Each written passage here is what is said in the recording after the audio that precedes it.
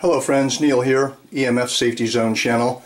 It's been a long time coming that I needed to do a video like this, but I've just gotten around to putting more videos on my YouTube channel. So here you see a few wireless devices, wireless keyboard, wireless mouse, and a tablet. My own wired keyboard and wired mouse is over here out of the way.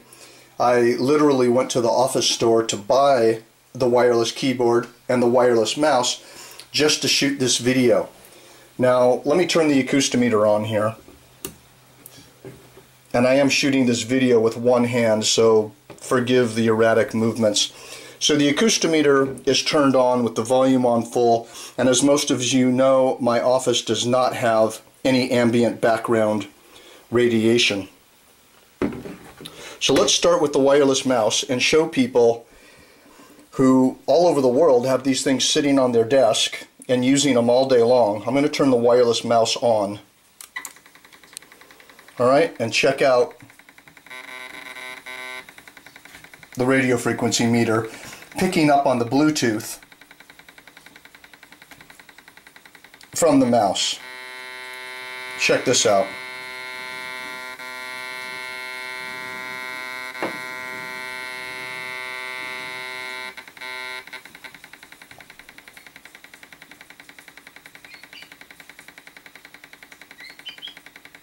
Now remember, just having a wireless mouse on your desk is not going to kill anybody.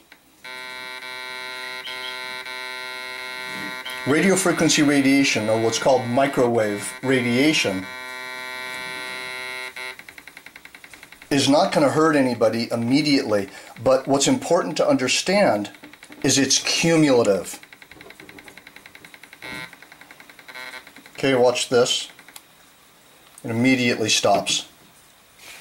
So when I say cumulative, it's important to understand that having a wireless mouse, a wireless keyboard, a wireless internet modem, cordless phones, all of this builds up. All of this is cumulative and will and will lead to health consequences. So that's a wireless mouse. Let's turn on this keyboard.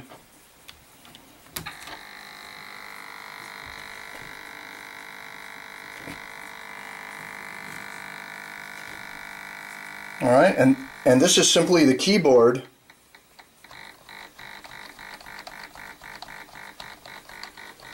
communicating. Keyboard's not quite as strong as the mouse was, but you can hear the meter. There's a constant Bluetooth signal communicating between the little uh, the little piece they give you to plug in right there that communicates with the mouse and the keyboard.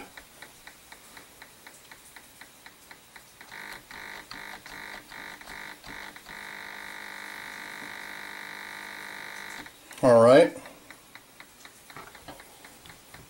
Turn that off. And you can see once again, no radiation. Now, Here's a tablet like most people use. I have the airplane mode on. I'm going to take it off the airplane mode. And let's turn the Wi-Fi on. So now the tablet is seeking to establish connection with a wireless network. it's topping the meter out in terms of peak signal strength and it's going up pretty high in terms of average power density.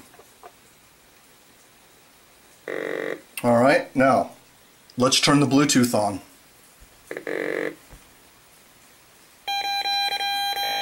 Interesting.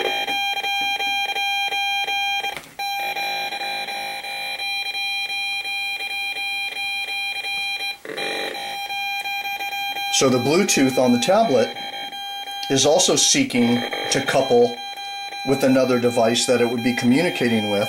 But look at these measurements on the meter.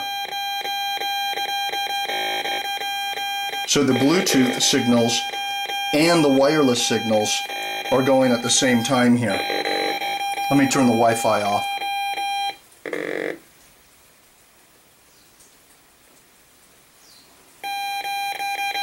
And this is just the Bluetooth.